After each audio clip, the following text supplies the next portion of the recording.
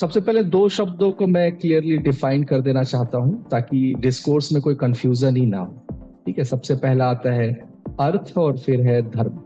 तो अर्थ शब्द को हम लाइवलीहुड से समझते हैं, पैसे से समझते हैं मॉनेटरी फ़िज़िकल टर्म में हम ज़्यादातर समझते हैं। अर्थशास्त्र क्या डिफाइन करता है कि भूमि को प्राप्त करने का जो उपाय है, जिस भूमि पे मनुष्यों का निवास है उसके लिए जो निरूपण करने के लिए जो शास्त्र को लिखा गया है, उसे हम अर्थशास्त्र कहते हैं। ठीक है? लाइवलीहुड तो है, वो तो है ही अर्थशास्त्र, लेकिन पावर पॉलिटिक्स भी जो है, वो अर्थशास्त्र के अंदर आएगा। धर्म जो है, इसको जब भी मैं एक्सप्लेन करता हूँ तो आसान भाषा में अगर मैं बताना चाहूँ, पहले तो ये जो शब्द है, इस पे बहुत ज़्यादा बोझ है अपने आप को एक्सप्लेन करने की, अपने आप को समझाने की। है? ना कोई भी ऐसा शब्द नहीं है संस्कृत में या हिंदी में कि वो इतना स्पेक्ट्रम को कवर करता हो। तो धर्म काटा हमने देखा है। जो गाड़ियों का जो वेइंग मशीन होता है ट्रकों का बोलते तो वहाँ पर लिखा रहता है धर्म काटा। मतलब वहाँ पर है कि जो मेज़रमेंट भी हम करेंगे, वो बहुत एथिकली हम कर रहे हैं, ठीक है? उसमें कोई गड़बड़ नहीं है।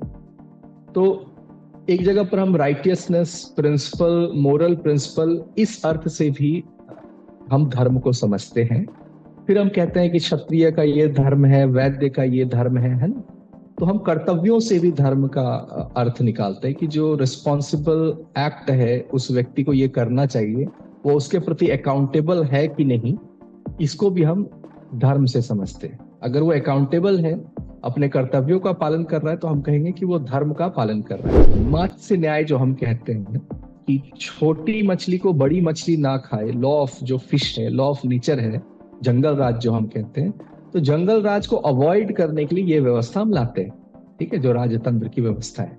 लॉ एंड गवर्नेंस का मॉडल है कि कमज़ोर है, उस पे ताकतवर शासन ना करे, उसको समाप्त ना कर दे, है ना? इसको रिवर्स करने के लिए, इसको बैलेंस करने के लिए रिवर्स तो नहीं कहेंगे बैलेंस करने के लिए ही न्याय व्यवस्था आती है और गवर्नेंस मॉडल आता है। कि आचार्य चाणक्य को भेद के लिए आर्ट ऑफ़ डिसेप्शन के लिए, चीज़ों को तोड़ने मड़ोड़ने के लिए जाना जाता है। लेकिन बाकी जो उनका तीन पार्ट ऑफ़ पर्सनैलिटी है, उसको हमने नहीं देखा। ठीक है? तो अभी कोई पॉलिटिकल पार्टी जब चेंज करता है, इस पार्टी से ऊपर तो हम कहते हैं कि ये चाणक्य नीति का यहाँ प्रयोग किया गया है। लेकिन this is only one subset of subset of many of the principles that Chanakya, Acharya Chanakya gave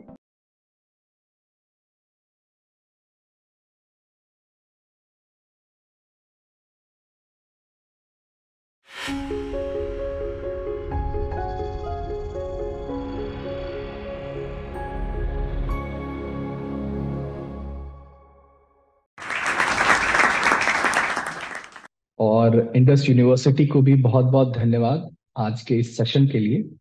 So basically we will talk about my upcoming book या ऑलरेडी मैं कहूँ कि अवेलेबल है Chanakya's intelligence this is the second book in this series of intelligence और इसमें मैंने चाणक्य को as a kingmaker as a political consultant strategist इस तरह से दर्शाया है।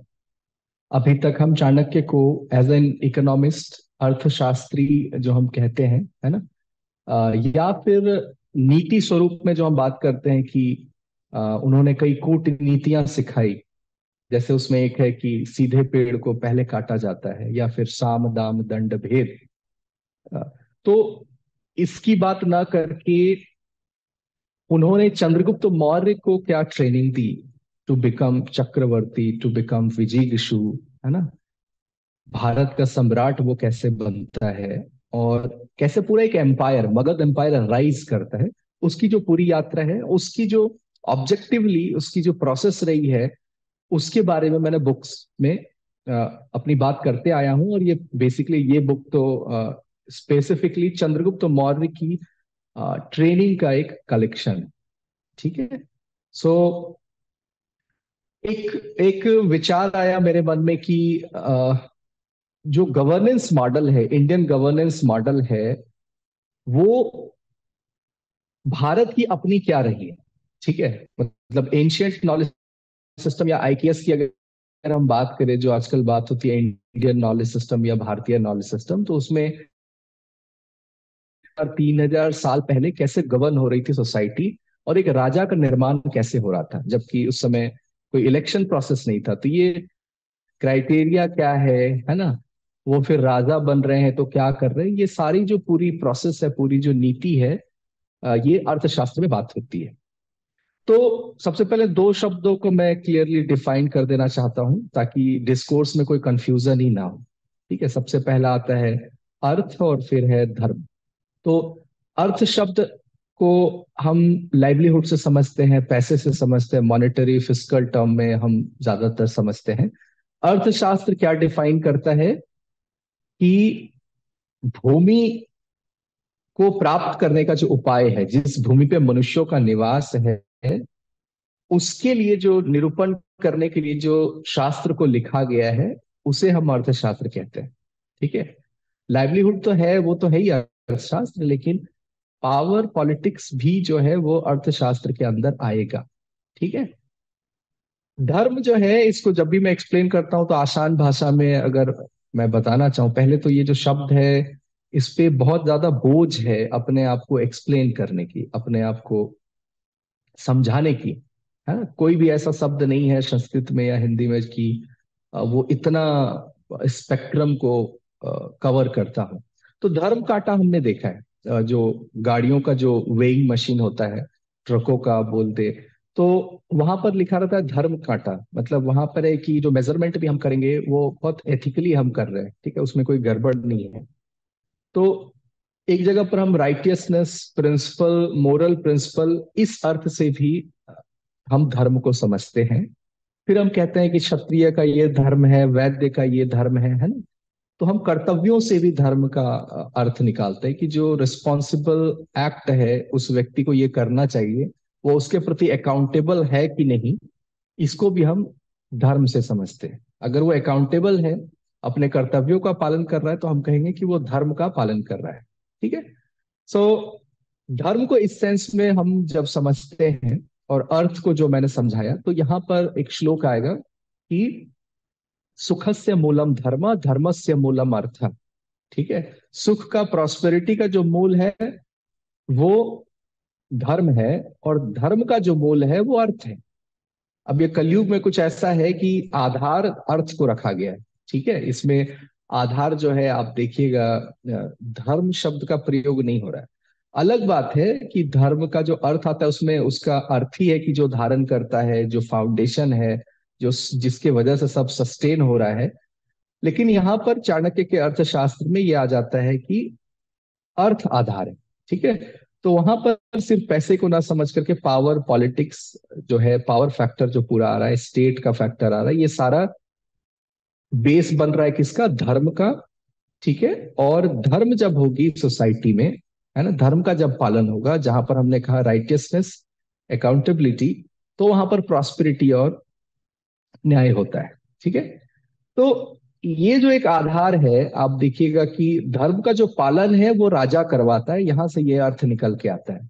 एक सोसाइटी को गवर्न करना, ये राजा के, राजा उसका सोर्स हो रहा है, ठीक है?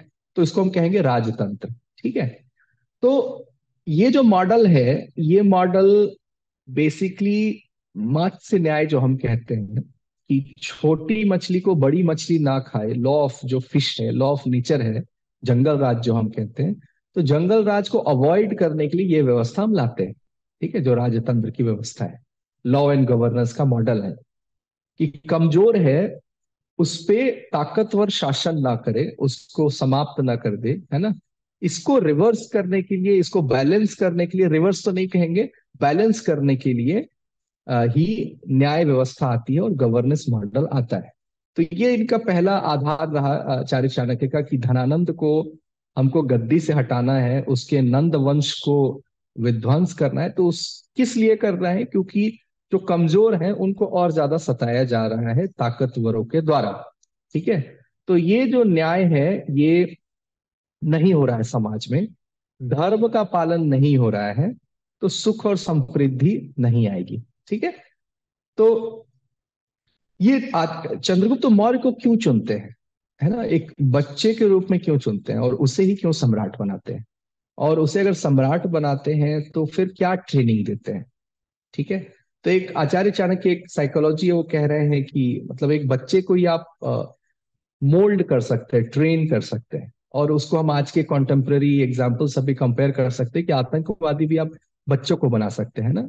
तो क्या आप फ़ीड कर रहे हैं एक उसके फॉर्मेटिव ईयर्स में? वो डिफाइन करता है कि वो क्या बनेगा आगे जा करके तो उन्होंने विद्या चतुष्टय का निर्माण किया और उसको एक्सप्लेन किया। वो तो परंपरा में ही आ रही थी, लेकिन उन्होंने विद्या चतुष्टय में जो है, हम कहते हैं कि आनवक्ष की त्रयी वार्ता और दंड नीति ठीक है? इसको संक्षिप्त में अगर मैं बताऊँ तो अगर मैं रिवर्स बात करूँ, जैसे दंड नीति से प्रारंभ करूँ तो हम कहेंगे राजा की क्षमा, व्यक्ति की क्षमा संत की क्षमा तीनों अलग होगा। ठीक है? संत जो है, हर व्यक्ति को क्षमा कर दे रहा है क्योंकि हम कह रहे हैं कि चित्त वृत्ति निरोध उसे करना है। अपनी चित्त की वृत्तियों का, मन में जो डिस्टर्बेंस है, विचार है, विचार शून्यता उसे चाहिए, है ना? तो वो कोई भी ग्रज कोई भी पुरानी बात लेके पकड़ के नहीं बैठ सकता तो वो जिसे नहीं भी क्षमा करना चाहिए, वो भी वो क्षमा करता हुआ प्रतीत होता है। ठीक है? व्यक्ति जो है अपने परिवार समाज अपनी शक्ति सामने वाले की शक्ति है ना? एक कॉन्टेक्स्ट को देख करके किसी को क्षमा करता है या फिर अपने सिचुएशन को देख करके वो डिसाइड करता है ना? उसमें भी कोई एक सेट ऑफ़ रूल नहीं है। तो संत के लिए एक रूल है कि वो सभी को क्षमा कर रहे हैं। व्यक्ति जो है वो सिचुएशन uh, के अकॉर्डिंग एक्ट कर रहा है अपने इंट्यूशन का प्रयोग कर रहा है लेकिन राजा क्या करेगा? दंड नीति का प्रयोग करेगा। अपने इंट्यूशन का उस समय प्रयोग नहीं करेगा। एक जैसे हम कहेंगे आईपीसी जो धारा है इस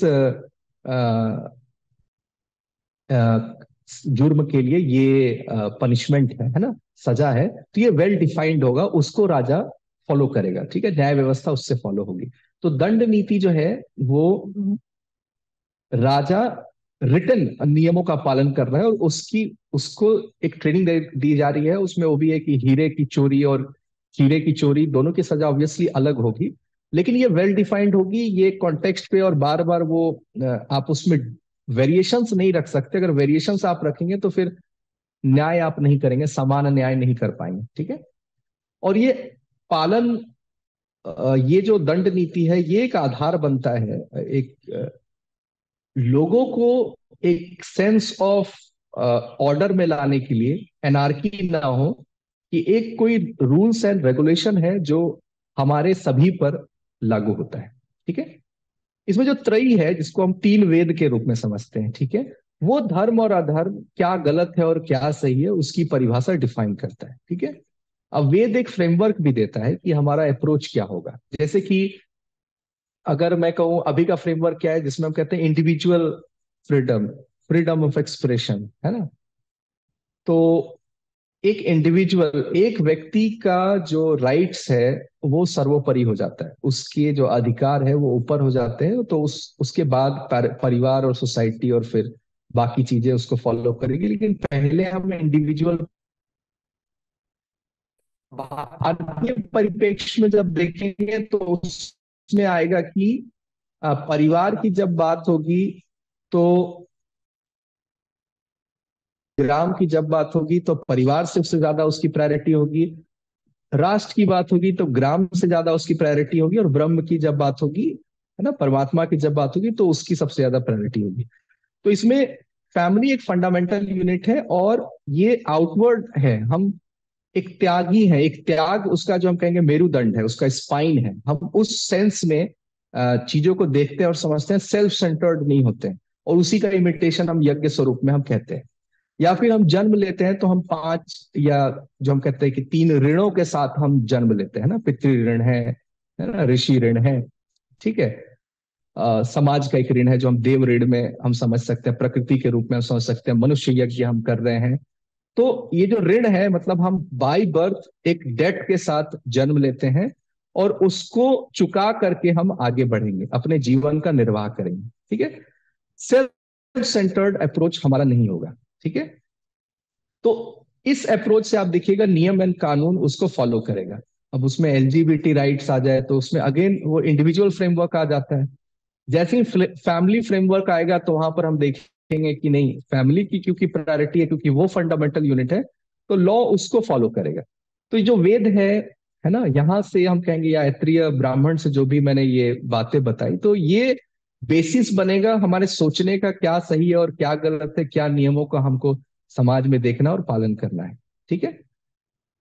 जो वार्ता है वो बेसिकली ट्रेड को कॉमर्स को एग्रीकल्चर को एनिमल हस्बेंड्री इन सबको वो गवर्न कर रहा है। तो इकोनॉमिक पॉलिसी जो बनेगी वो वार्ता उसको फॉलो कर रही है। अब जो पार्ट है आनिवीक्षकी इस पे पूरा अलग से मैंने एक चैप्टर दिया है, क्योंकि यही ट्रेनिंग पार्ट है बेसिकली चंद्रगुप्त मौर्य की, है ना? जिसमें हम कहेंगे कि सांख्य दर्शन, योग और चारवाक दर्शन, ये तीनों की शिक्षा दी जा रही है। ठीक है? अब बहुत जगह व्याख्याएँ आती है आन्वेक्षिकी के शब्द के अर्थ को समझाया जाता है कि चंद्रगुप्त मौर्य को ये शिक्षा दी गई, लेकिन जब आप अर्थशास्त्र देखेंगे तो वहाँ पर आपको पता चलेगा कि वो एकदम अच्छे से ऑब्जेक्टिवली डिफाइन कर रहे हैं कि मैं किस दर्शन शास्त्र की किस भाग की बात कर रहा हूँ। ठीक है? जैसे सांख्य दर्शन वो अगर कह रहे हैं तो कह रहे हैं कि बुद्धि की क्षमता में विकास होगा। ठीक है ना? सोचने की डिसीज़न लेने की कैपेबिलिटी बढ़ेगी। अब यहाँ पर ये क्यों आ रहा है? तो सांख्य दर्शन को इंग्लिश में कहें तो वो कॉस्मोलॉजी है। बेसिकली ब्रह्मांड की उत्पत्ति कैसे हुई, ब्रह्मांड का निर्माण कैसे हुआ? हम इन सारों, इन सारे विषयों की जब बात करते हैं, तब हम कहते हैं कि ये सांख्य दर्शन का विषय है। तो अभी का एक एग्ज़ाम्पल दू मैं तो उसमें आता है कि इलॉन मस्क ने फिजिक्स में बहुत ज़्यादा आगे तक पढ़ाई की और वो इसका तर्क ये देते हैं कि मैंने इस सब्जेक्ट को इसलिए लिया क्योंकि मुझे इनोवेशन की तरफ़ जाना था, एक इनोवेटिव माइंड या एक प्रॉब्लम सॉल्विंग अप्रोच मेरी सही हो, नई चीज़ों को मैं एक्सप्लोर कर पाऊँ, ये मुझे लगा कि फिजिक्स अगर मैं समझ सकता हूँ, उसकी समझ अगर होगी तो मेरी ट्रेनिंग हो जाएगी ब्रेन की और then I can make other innovative decision या रिवोल्यूशनरी डिसीज़न ठीक है? तो सांख्य दर्शन क्या बेसिकली एक, एक ऐसा विषय है जो कठिन है क्लिष्ट है टफ है हार्ड टू कॉम्प्रिहेंड है। इसको जब समझता है राजा तो एक पैराडॉक्स को सॉल्व करता है। न्याय निर्णय उसे लेना है। बेसिकली डिसीज़न राजा को लेना है लेकिन उसके पास होते हैं सलाहकार। वो हर विषय का हर सब्जेक्ट का एक्सपर्ट एक्सपर्टीज उसके पास नहीं होगी ठीक है? जब एक्सपर्टीज नहीं होगी लेकिन उसे डिसीज़न लेना है सलाहकार की बातों को सुन के। तो ये कब होगी जब उसमें कॉम्प्रीहेंड कॉम्प्रीहेंशन चीज़ों को जोड़ने की शक्ति है ना? आ, क्या सही है क्या गलत है निर्णय करने की शक्ति एग्जीक्यूशन हम कहें इच्छा शक्ति ज्ञान शक्ति क्रिया शक्ति ये सब कहाँ से आएगी? जब उसने अपने बुद्धि के स्तर को इतना बढ़ा दिया है कि वो उन विषयों को भी समझ सकता है जिस विषयों के बारे में वो पहली बार समझ रहा है सुन रहा है। तो यहाँ पर ये सांख्य दर्शन विषय को समझाया जा रहा है। ठीक है? सांख्य दर्शन, वो दर्शन शास्त्र का वो भाग है जहाँ से भगवान बुद्ध ने भी अपनी यात्रा प्रारंभ की थी और ये जो हम कहते हैं पुरुष और प्रकृति की जो पूरी स्टडी है इवोल्यूशन है कॉन्शियसनेस एंड मैटर का जो पूरा अंडरस्टैंडिंग है, ये पूरा सांख्य दर्शन से आता है। तो ऐसा विषय जो आध्यात्मिक विषय है, इसको इसलिए पढ़ाया जा रहा है क्योंकि बुद्धि की क्षमता, सोचने की क्षमता डिसीज़न लेने की क्षमता बढ़े। ठीक है? योग ऑब्वियसली आत्मबल देता है। यहाँ पर आचार्य चाणक्य कहेंगे, या वो हम इन्फर कर सकते हैं कि जो युद्ध में जीते उसे वीर कहते हैं और जो स्वयं को जीते उसे महावीर कहते हैं। तो व्यक्ति अगर इंद्रिय जय नहीं है तो वो राजा के स्तर पर जाना बहुत कठिन है उसके लिए। अगर उसने सेंस ऑर्गन्स को कॉज ऑफ़ सेंस ऑर्गन्स या हम कहें सबस्ट्रेटम ऑफ़ सेंस ऑर्गन को उसने कंट्रोल नहीं किया है तो उसके लिए बड़ा कठिन है आत्मबल प्राप्त करना। ठीक है? और ये जो श्लोक है, ये आगे बढ़ता है, जहाँ से मैंने प्रारंभ किया था कि सुखस्य मूलम धर्म, धर्मस्य मूलम अर्थ, अर्थस्य मूलम राज्यम, राज्यस्य मूलम इंद्रिय जय। ठीक है? तो ये जो योग शास्त्र है, जो आत्मबल प्राप्त करने की जो विधा है, स्वयं को जीतने की जो तरीके हैं, उसकी ट्रेनिंग भी यहाँ पर आयु विक्षकी के अंदर हो रही है। और तीसरा जो विषय ये बड़ा इंटरेस्टिंग है जो हम कहते हैं चारवाक दर्शन। अब पहले के समय में एक तो बेसिकली चारवाक दर्शन के एक्सपर्ट हमेशा क्यों होते थे राज दरबार में या राजा की ट्रेनिंग में? क्योंकि आध्यात्म या भक्ति एक एक जन सामान्य विषय था और ये भी डर था कि कहीं राजा जो है वो राजपाट त्याग करके सन्यास की तरफ़ ना बढ़ जाए। उसको बैलेंस करने के लिए एक चारवाक दर्शन का एक्सपर्ट या उस प्रकार का व्यक्ति उसके साथ हमेशा हो, जो उसको भोग विलास और पावर और पॉलिटिक्स और अर्थशास्त्र को सर्वोपरि रखे, इस प्रकार की बातें उसे याद दिलाता रहे। और एक दूसरा एंगल आता है कि जिसमें हम कहते हैं कि भारत का जो राजा होता है, वो परमात्मा का अंश होता है। ठीक है? तो यहाँ पर यह बात इसलिए होती है क्योंकि आप देखिएगा, जो कमज़ोर व्यक्ति है भारत में, उसके ऊपर जब भी कोई समस्या आती है तो वो ये कहता है कि भगवान तो सब देख रहा है और वो अपना न्याय और फैसला करेगा और जिसने जो पाप किया उसको वो भोगना पड़ेगा और वो उस दुख को झेल रहा होता है, ठीक है?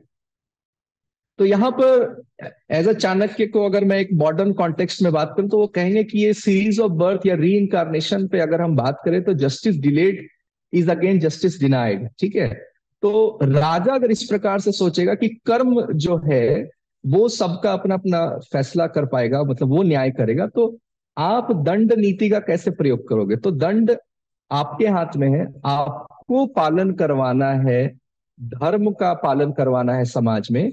तो आपको ये जो पारमार्थिक सत्य है या जो अदर वर्ल्डली थिंग्स है, इससे थोड़ा रिडक्शनिस्ट अप्रोच में वापस आकर के आप यही मान लो कि परमात्मा का अंश होता है राजा और फिर दंड नीति डिसाइड करेगी कि किसके पाप का क्या न्याय करना है, किसके पुण्य का क्या न्याय करना है? ठीक है? तो चारवाक एक पर्सपेक्टिव दे रहा है, जिसमें एक मटेरियल रियलिटी सर्वोपरि हो जाती है और फिर उस कंट्रोल में अपना लेता है, न्यायिक व्यवस्था जस्टिस सिस्टम और फिर न्याय करता है। तो ये जो आन्वीक्षकी है, ये पूरा जो एक ट्रेनिंग चल रही है, एक नर्चर चल रहा है चरगुतु मौर्य का बचपन से, ये तीनों सब्जेक्ट सबसे पहला है। मतलब कि आन्वीक्षकी अगर उसे नहीं बताई गई और पहले दंड नीति अगर बता दी जाएगी तो फिर उसका जो वर्ल्ड व्यू है, उसका जो फिलॉसफी ऑफ़ लाइफ है, उसको जो जीवन देखने का नज़रिया है, वो जब तक हमने बिल्ड नहीं किया है तो दंड नीति को एक हम कहेंगे कि पावर अगर गलत हाथ में चला जाए तो फिर वो एक्सप्लॉइटेटिव इन नेचर हो जाता है।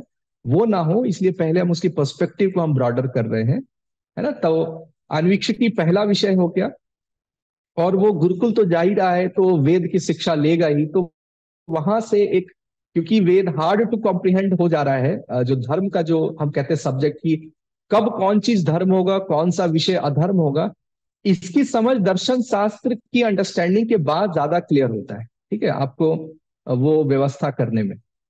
तो ये जो ट्रेनिंग है ये त्रयी वार्ता दंड नीति आन्वीक्षिकी इन चारों हम कहें विद्या चतुष्टय के माध्यम से आ, राजा चंद्रगुप्त को विजिगिशु चंद्रगुप्त को ये दी जा रही है। तो ये पूरा इस पे पूरा एक अध्याय मैंने अपने पुस्तक चाणक्याज इंटेलिजेंस में सारी बातें की हैं और इसमें अगर मैं बात करूँ, शत्रु जो आज से ये वो ट्रेन शत्रुबोध कि आपके देश में और शत्रु के देश में कुछ एक प्रकार के व्यक्ति हैं जिन पर आपको बड़ा ध्यान देना है, वो आपके लिए भी खतरनाक है और जो शत्रु के लिए खतरनाक है, उसको आप अपने पाले में ला करके, अपने साइड में ला करके चीज़ों को बेहतर ढंग से गवर्न कर सकते हैं, चला सकते हैं, जो पॉलिटिकल या हम कहें पॉलिटिक्स को हम चला सकते हैं। तो उसमें वो बहुत अच्छे से एक साइकोलॉजी का वो एकदम डिसाइफर करते हैं कि एक ह्यूमन साइकोलॉजी में तीन चार प्रकार के ही लोग हैं जो आपके लिए खतरनाक है, ठीक है? उसमें कहेंगे कि भीत वर्ग मानी वर्ग लुब्ध वर्ग और क्रोधी वर्ग ये चार प्रकार की एक कैटेगरी आ गई ठीक है? सो उसमें भीत वर्ग जो, जो भय से ग्रसित है डरा हुआ है वो डरा हुआ है तो वो आपके अगेंस्ट जा सकता है। बहुत आसान भाषा में मैं कहूँ लोभी वर्ग वो इतना लोभी है, उसने इतनी लूटपाट मचा दी है, इतना चोरी कर लिया है उसने कि वो उन चीज़ों को बचाने के लिए वो आपके अगेंस्ट जा सकता है। ठीक है? उसके बाद हम कहेंगे कि मानी वर्ग मतलब उसको मान सम्मान की इतनी भूख है कि उसको किसी ने सम्मानित कर दिया तो ये उसकी भाषा बोलने लगता है। और इसको हम कहेंगे कि एक जो स्पाइस का, जो कोल्ड वॉर का समय था, उसमें कहते हैं कि जो सोवियत के स्पाइज हैं तो मतलब भारत के कई यूनिवर्सिटी के प्रोफेसर को वो अपने देश बुलाते थे, इतनी अच्छी हॉस्पिटैलिटी देते थे, सम्मान, मान सम्मान करते थे, कि उन्हें लगता था कि उनके देश ने तो सम्मान दिया ही नहीं मतलब भारत ने सम्मान दिया ही नहीं। और ये फिर जब रिटर्न होते थे तो ये वहाँ की भाषा और वहाँ की शैली अपना लेते थे, ठीक है? तो आचार्य चाणक्य कहेंगे कि ये भी आप मेरिटोक्रेसी को आपने अगर सम्मान नहीं दिया, आपने अपने मेरिट वाले व्यक्ति को, उसकी कला को, उसकी क्षमता को, उसके स्किल सेट को समझा नहीं है, जाना नहीं है है ना? अप्रिशिएट नहीं किया है रिकॉग्नाइज नहीं किया है तो ये एक शत्रु का रूप ले सकता है, ठीक है? एंड जो हमने कहा कि भीत वर्ग, हमने बात की, भय वाला, लुब्ध वर्ग, लोभी हो गया, मानी वर्ग हो गया और क्रुद्ध वर्ग, क्रोधी। वो किसी आपके एक डिसीज़न से ऑब्वियसली जब आप न्याय करते हैं तो हर एक व्यक्ति को आप सभी को खुश नहीं रख सकते। तो एक राजा के पर्सपेक्टिव से भी अगर देखें, राजधर्म के पर्सपेक्टिव से भी देखें तो एक ऐसा वर्ग होगा जो नाराज़ होगा ही होगा आपसे। तो क्रुद्ध वर्ग उनकी भी साइकोलॉजी को समझना, उनको समझना और उन्हें क्रोधित नहीं होने देना तो ये पूरा जो पार्ट है, ये शत्रुओं में भी समझना। इन चार, अगर मैं कहूँ कि सब्जेक्ट है अगर चार प्रकार के व्यक्ति, इन चार प्रकार के व्यक्तियों को समझना, जानना और उसको अपने देश के नीतियों के अनुसार प्रयोग में लाना। तो ये एक शत्रु बोध का एक एक, बहुत अच्छा जो अंडरस्टैंडिंग है वो भी आचार्य चाणक्य ने दिया। और ये आप मॉडर्न कंटेक्स्ट में देख सकते हैं कि कैसे एक व्यक्ति नाराज़ हो जाता है तो फिर वो एंटी हो जाता है। कैसे एक करप्ट व्यक्ति वो एंटी हो जाता है। कैसे भय वाला व्यक्ति कैसे वो कई योजनाएँ बनाने लगता है?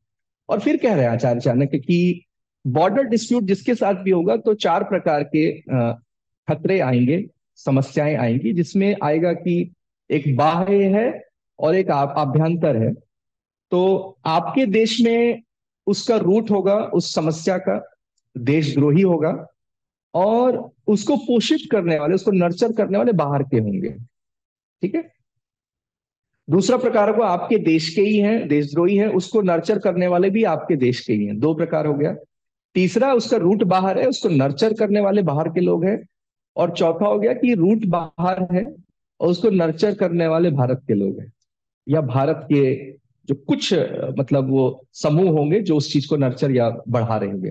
ये चार प्रकार के एनिमी भी क्रिएट होते हैं जब बॉर्डर डिस्प्यूट्स होते हैं बेसिकली तो हम कहते हैं जो प्रॉक्सी वार है कि डायरेक्टली इन्वॉल्व नहीं होना, ये जो सुनजू की जो बेसिकली टेक्निक थी कि जो चाइना में रहे, कि डायरेक्ट एक एक हेड टू हेड वॉर में इंगेज होने से अच्छा है कि हम प्रॉक्सी वार में अपने आप को इन्वॉल्व करें, है ना?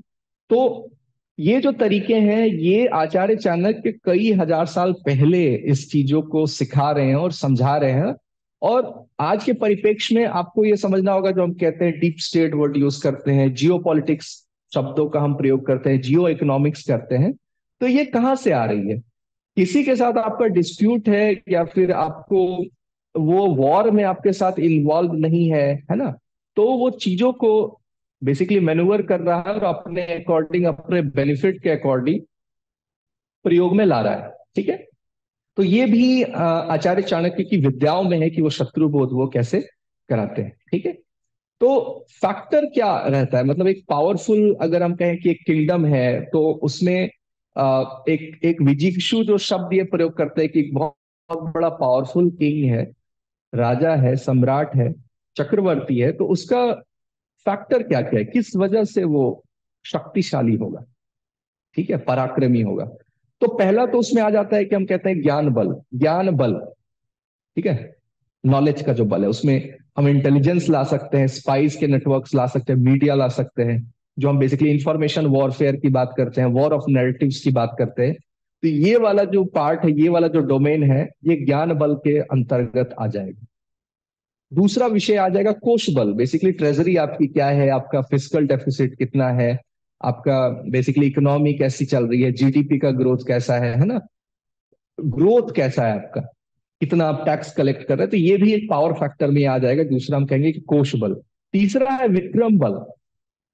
बेसिकली जब भी आप तो उत्साह की बात करते हैं या वेलर की बात करते हैं, ये एक सेंस ऑफ़ हम कहते हैं कि राष्ट्रभक्ति है उसके अंदर। तो जो इनर इमोशन है है ना? एक जो ड्राइव करता है चीज़ों को इवन आर्मी को बॉर्डर पे, या फिर जो हम कहते हैं तो ये सारा जो एक एक प्रभुत्व तो है, एक प्रभाव है, हम कहते हैं इन्फ्लुएंस एक बॉडी लैंग्वेज एक इन्फ्लुएंस है, वो प्रभाव डाल रहा है।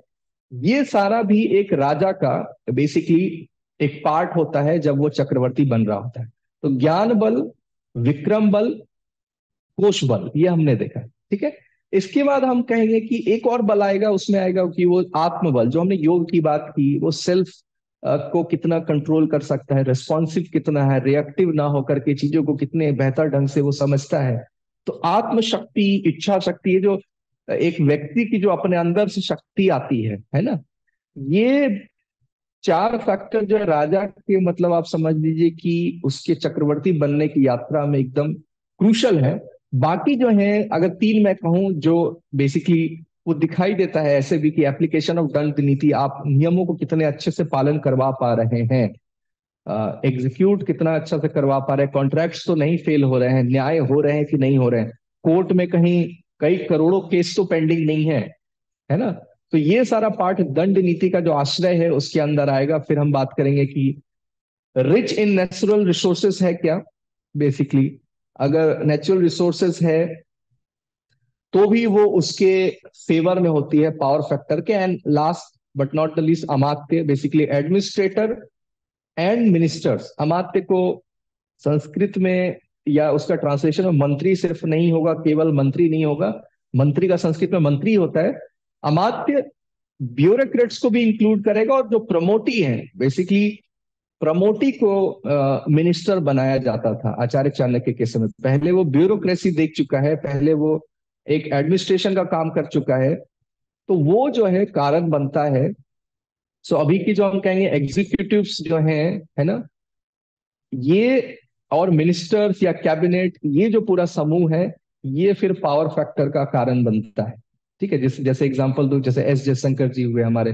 तो फॉरेन मिनिस्टर हुए। तो ये फैक्टर है कि वो डिप्लोमेसी वो बातचीत किस ढंग से कर रहे हैं, कैसे कर रहे हैं। तो आप देखिए कि आचार्य चाणक्य जो भी बातें कर रहे हैं, ये रेलिवेंट है। और आज भी रेलिवेंट है, और बल्कि आज उस ढंग से फॉलो नहीं हो पा रहा है, जिस ढंग से राजतंत्र में फॉलो हो जाता था। ठीक है?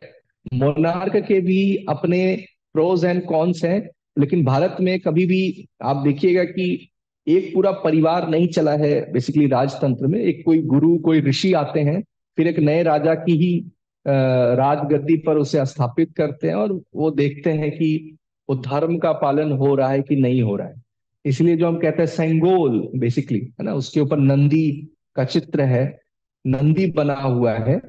तो वो जो धर्म का हम कहते हैं ना, चार पैर जो है, नंदी से हम रिप्रेजेंट करते हैं। तो राजा उसके भी अंदर है, ठीक है? राजा सबसे सर्वोपरि नहीं है। तो भारत में वो निरंकुश शासक का जो लैंग्वेज हम यूज़ करते हैं कि रशिया में ऐसा रेवोल्यूशन हुआ वर्ल्ड में ऐसा हुआ कि जो राजतंत्र है उससे बेहतर रहा डेमोक्रेसी तो भारत में वैल्यूज़ डेमोक्रेटिक रही है सिस्टम लेकिन इलेक्शन का ना होकर के सिलेक्शन के थ्रू हो रहा है और एक एक बेसिकली एक इनका अपना संविधान है जिससे चीज़ों की कॉन्फ्लिक्ट रेजोल्यूशन हो रही है और चीज़ें का बेसिकली अच्छे ढंग से सुचारू रूप से उसे चलाया जा रहा है। तो, तो ये जो पर्सपेक्टिव है आचार्य चाणक्य का है ना कि राजा को आ, कैसे चुनना है राजा की ट्रेनिंग क्या होगी आ, और जब वो न्याय करेगा जब वो शासन चलाएगा तो उसे क्या फॉलो करना है?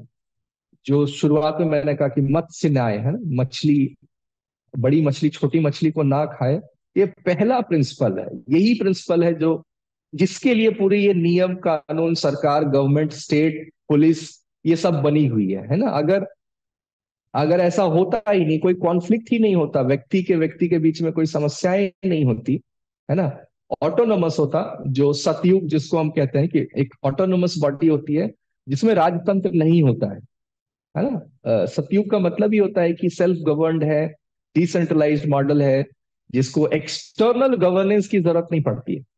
तो भारत में जो युगों की अवधारणा है, उसमें ये थोड़ा सा आप देखेंगे कि ये डिग्रेडेशन होता है और कलयुग में आते आते आप देखिएगा कि हम कमेटी और सिस्टम की बात करने लगते हैं। एक व्यक्ति आधारित नहीं हो सकता क्योंकि वो जितेंद्रिय है नहीं, है ना?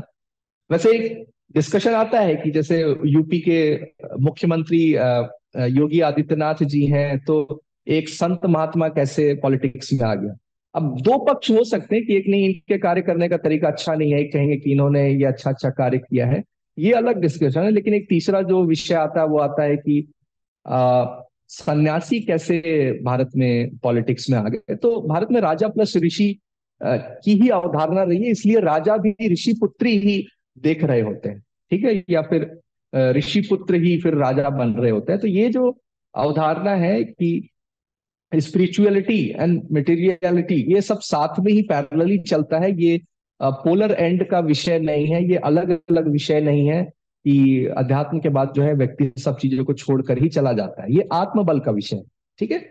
तो ये एक बेसिकली आप डिफरेंस जब देखते हैं या समाज को आप देखते हैं तो अभी एक जो लॉ एंड गवर्नेंस की हम बात कर रहे थे तो उसमें ये विषय आया कि एक एक महानुभाव है, वो आए मुंबई और उन्होंने देखा कि ये स्लम है बगल में। तो उन्होंने कहा कि ये जो स्लम है यहाँ पर लोग फिर भी सिविलाइज्ड हैं, क्योंकि उन्हें अभी तक ये लगता था कि जो पॉवर्टी है, जो गरीबी है, वो क्राइम को जन्म देती है और उसके लिए नियम कानून होते हैं, ठीक है? लेकिन जब वो भारतीय स्लम को देखते हैं तो वो देखते हैं कि ये फिर भी सिविलाइज सेंस में क्यों रह रही है? मतलब गरीब है, लेकिन उन्हें कोई पैसा दे दे तो मर्डर करने नहीं चले जाएँगे मतलब क्राइम करने नहीं चले जाएँगे। पैसा ड्राइव क्यों नहीं कर रहा चीज़ों को, है ना? तो ये ऐसी सोसाइटी में हम कहते हैं कि सोशल सिक्योरिटी सोशल कैपिटल बहुत ज़्यादा है और वहाँ पर लॉ एंड गवर्नेंस की बहुत स्ट्रिक्ट रिक्वायरमेंट नहीं होती है। और यदि आप लॉ एंड गवर्नेंस से चीज़ों को सॉल्व करने जाएँगे तो चीज़ें पेंडिंग होती चली जाएगी। दो भाइयों का भी झगड़ा है प्रॉपर्टी डिस्प्यूट भी है तो कोर्ट में अब सेटल होता है। फैमिली में, समाज में, पंचायत में बेसिकली उस लेवल फ़िल्टर होके अब कोर्ट में नहीं जाता है। तो आचार्य चंद्रगुप्त के समय में अगर मैं कहूँगा कि उस समय हो रहा है तो कॉन्फ्लिक्ट रेजोल्यूशन फ़िल्टर आउट होके जा रहा है। Within family within joint family within community within gram. And then न्याय हो रहा है, क्योंकि पूरे देश का जो इशू है वो न्याय और कानून और दंड नीति से गवर्न नहीं हो रहा है, इस बात को भी समझने की बहुत आवश्यकता है। ये जो सोशल कैपिटल है, ये कहाँ से आया? जो वेद की शिक्षा, त्रयी जो शिक्षा उन्होंने दी कि जब भी फैमिली और आपकी बात होगी तो फैमिली की प्रायोरिटी फैमिली और ग्राम की बात होगी तो ग्राम की प्रायोरिटी एंड देश। सो ऑब्वियसली सेल्फ सेंटर्ड नहीं है। इसमें हम इंडिविजुअल जो बेसिकली फ्रेमवर्क होता है ना? अब वो फ्रेमवर्क हम अप्लाई ही नहीं कर रहे। इसमें त्याग ही है आउटवर्ड नेचर है। कार्य करने का नेचर आउटवर्ड है और नॉलेज को समझने और आत्मबल को समझने, स्वयं को समझने का जो है वो इनवर्ड है बेसिकली तो ये पूरा एक ऐसे सोशल कैपिटल का निर्माण करता है जहाँ पर दंड नीति तो है, लेकिन वो बहुत कारगर है क्योंकि चीज़ें बहुत हद तक सेल्फ गवर्नड है और ऑटोनॉमस बॉडी की तरह काम कर रहा है डिसेंट्रलाइज मॉडल की तरह काम कर रहा है। तो ये चाणक्याज इंटेलिजेंस बुक में मैंने basically in principles in metaphysics अगर कहीं, इन चीज़ों की बात की कि किस आधार पर नियम और कानून बन रहे हैं। आम बोलचाल में तो बता दिया जाता है कि देखो, ये बड़ा कनिंग है आर्ट ऑफ़ डिसेप्शन इन चीज़ों का आचार्य चाणक्य प्रयोग कर रहे हैं, इसीलिए मैकेवेली ऑफ़ ये इंडिया है है ना बेसिकली तो ये रियलिस्ट है, ये बातें हैं। लेकिन इसके back back of the mind back में क्या है, इसका फाउंडेशन क्या है? क्यों उनकी नीतियाँ कारगर हो रही हैं, इनको समझना बहुत आवश्यक है। ठीक है? अभी कोई एक कॉन्फ्लिक्ट आ सकता है कि एक केस है कि यहाँ पर हम व्यक्ति के बेसिकली अंडरस्टैंडिंग को माने, परंपरा को माने कॉन्टेक्स्ट को माने, अर्थशास्त्र को माने, या धर्मशास्त्र को माने, ऐसे कॉन्फ्लिक्ट आ सकते हैं और आते ही रहते हैं, है ना? कि हम किसी सब्जेक्ट में अप्लाई क्या करें? हम संविधान को अप्लाई करें, धर्मशास्त्र को अप्लाई करें कॉन्टेक्स्ट को देखें ह्यूमैनिटी को अप्लाई करें, जो बेसिकली इंडिविजुअल फ्रेमवर्क है, उसको अप्लाई करें, है ना? तो ये कॉन्फ्लिक्ट उस समय भी आते थे तो इसको कैसे रिजोल्व करें? तो वहाँ पर आचार्य चाणक्य अर्थशास्त्र को सबसे ऊपर रख रहे हैं, सबसे ऊपर। धर्मशास्त्र के ऊपर भी उन्होंने रखा है। तो अर्थशास्त्र को फंडामेंटली हम लोग इकोनॉमिक्स मैक्रो माइक्रो इस टर्म में समझते हैं, लेकिन उसका सही ट्रांसलेशन इकोनॉमिक्स का वार्ता शास्त्र कहे तो ज़्यादा बेहतर होगा। अर्थ में काइंड ऑफ़ संविधान का भी थोड़ा फ्लेवर है, वहाँ पर न्याय व्यवस्था की भी बात हो रही है, समाज की भी बात हो रही है स्टेट क्राफ्ट की भी बात हो रही है ना? राजधर्म के बारे में बात हो रही है। तो एक सा डॉक्यूमेंट अ कलेक्शन जिसमें कई सब्जेक्ट्स को डील किया गया है, ठीक है? जो पावर एंड पॉलिटिक्स के अराउंड रिवॉल्व करता है। तो ये जो कॉन्फ्लिक्ट रेजोल्यूशन का जो फ्रेमवर्क है, ये भी आचार्य चाणक्य देखते हैं और ये ऑब्ज़र्व करते हैं कि किस चीज़ का कहाँ पालन करवाना है और किस चीज़ को किस तरह से हमें, किस पर्सपेक्टिव से हमें देखना है। ठीक है? तो ये एंड वो महाभारत से वो चीज़ों को कैसे ला रहे हैं, उनकी लर्निंग कैसे ले रहे हैं, उनके जो पूर्व के जो आचार्य हैं, उनसे कौन सी लर्निंग वो ले रहे हैं, किसके प्रति वो अगेंस्ट भी जा रहे हैं, बोल रहे नहीं, मैं इन बातों को नहीं मानता हूँ। इनकी बातों में थोड़ी सी सच्चाई आज के पर्सपेक्टिव मुझे लग रही है तो इसे मैं अप्लाई करवा सकता हूँ। तो इस तरह की भी बातें और एक डिस्कशन के रूप में ये बातें आगे बढ़ती है।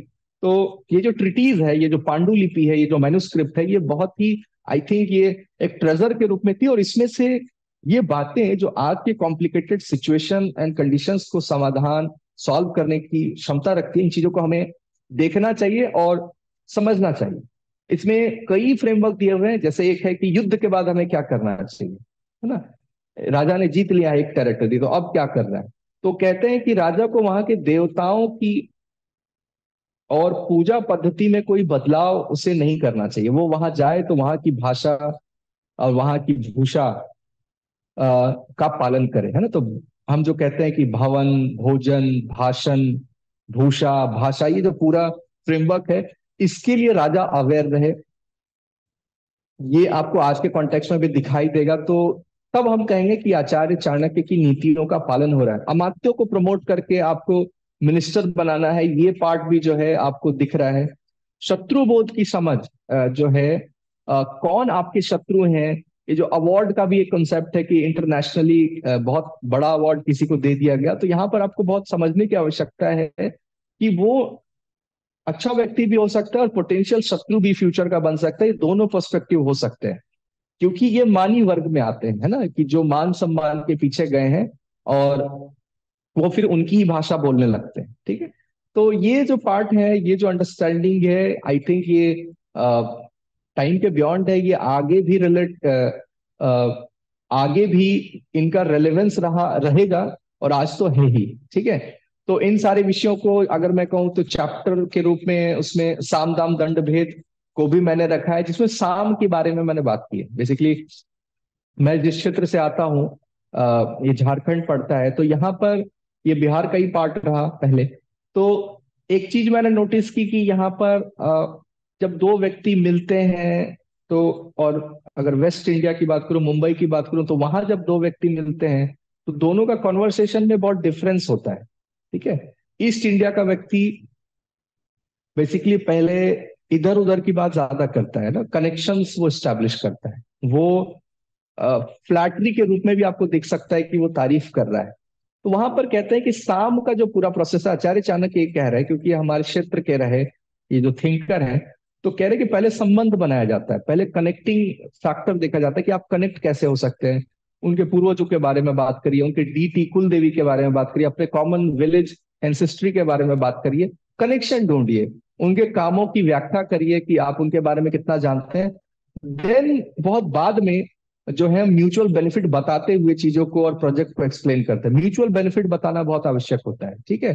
ताकि जो है उसकी सत्यता, उसका जो ट्रूथफुलनेस है, वो आपको प्रस्तुत करने में आसानी है। तो जो साम है, ये भी एक टूल है, ये भी एक ट्रेनिंग का प्रोसेस था कि ऐसे समझाया जाता है, ऐसे परसुएट किया जाता है। तो इसके ऊपर भी एक पूरी चैप्टर मैंने बात की है कि भेद के बारे में तो हम सभी जानते हैं कि आचार्य चाणक्य को भेद के लिए आर्ट ऑफ़ डिसेप्शन के लिए, चीज़ों को तोड़ने मड़ोड़ने के लिए जाना जाता है। लेकिन बाकी जो उनका तीन पार्ट ऑफ़ पर्सनैलिटी है, उसको हमने नहीं देखा। ठीक है? तो अभी कोई पॉलिटिकल पार्टी जब चेंज करता है, इस पार्टी से ऊपर तो हम कहते हैं कि ये चाणक्य नीति का यहाँ प्रयोग किया गया है। लेकिन this is only one subset of subset of many of the principles that Chanakya, Acharya Chanakya gave ठीक है तो ये चीज़ें हमें ध्यान देने की आवश्यक है कि उन छह हज़ार सूत्रों में, जो छह हज़ार नहीं है, थोड़े कम ही है, उसमें से जो उनकी स्टेट क्राफ्ट की नॉलेज है या राजधर्म जो उन्होंने सिखाया ये पार्ट को भी हम देखें और जाने। इसलिए छोटी सी पतली सी बुक मैंने लिखी वन थर्टी पेजेस की है और ओनली प्रिंसिपल्स मेटाफिजिक्स एंड उनकी जो पर्सपेक्टिव थी कि चंद्रगुप्त मौर्य को उन्होंने कैसे ट्रेन किया इन सारे विषयों के ऊपर बात हो। सो आई थिंक अपने पुस्तक और आचार्य चाणक्य के विषयों में जितनी मुझे व्याख्या करनी थी आ, मैंने कर दी है। सो आज के लिए आप सभी को बहुत बहुत धन्यवाद जुड़ने के लिए।